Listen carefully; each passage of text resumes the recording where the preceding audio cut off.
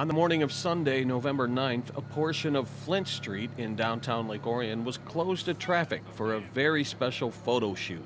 More than 30 Orion Township firefighters arrived in full gear to recreate a vintage photograph that was discovered by the department's Chris Hagan.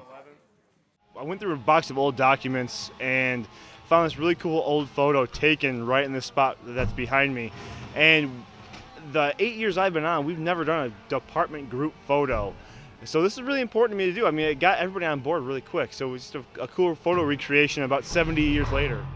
The facade of the building, located at 27 East Flint Street, bears the date 1900 and originally served as Orion's Town Hall.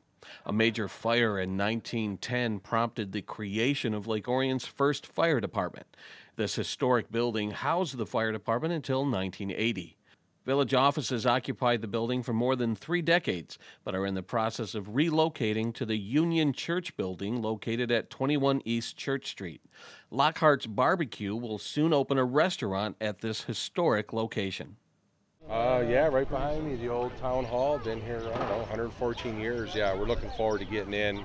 I haven't seen any plans yet, but I'm sure they're going to make it uh, first class place. The timing of the photo could not have been more perfect to capture Orion Township's firefighters as the department goes through major changes. In August, voters approved a millage to allow the fire department to increase staffing, and in November, a capital and equipment millage was passed. The Orion Township Board of Trustees recently voted to approve the promotion of 12 paid on call firefighters to full time status beginning January 1st in Lake Orion. This is Joe Johnson reporting for ON TV News.